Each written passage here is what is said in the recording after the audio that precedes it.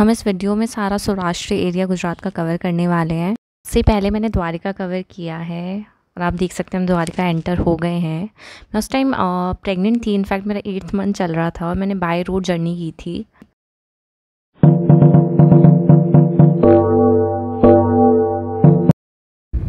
हम बेट द्वारिका के लिए आ गए हैं। इसको समुद्र से क्रॉस करके जाना पड़ता है और कहा जाता है, अगर आप द्वारिका अधूरा है, अगर आप भेट द्वारिका नहीं कवर कर रहे हो तो।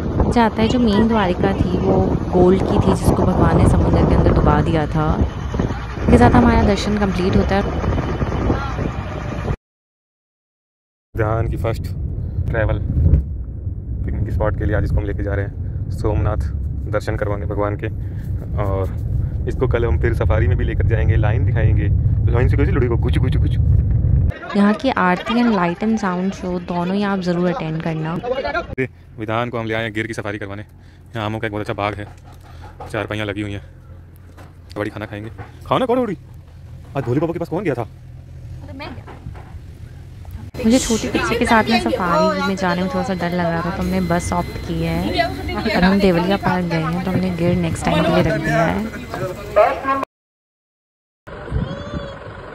ला, ला।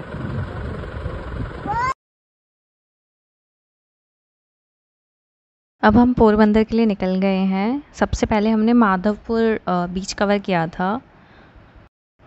वहाँ पे हमने सनसेट देखा है।